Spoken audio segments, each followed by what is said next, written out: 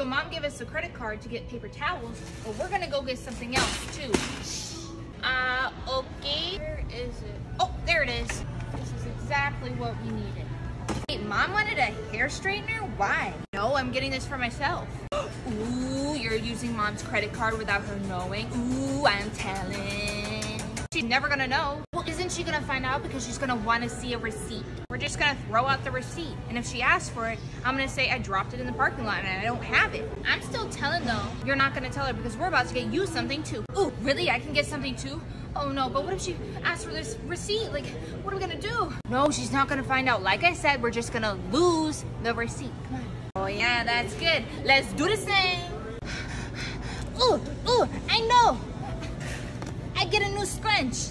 We should do this more often. I like the way you think.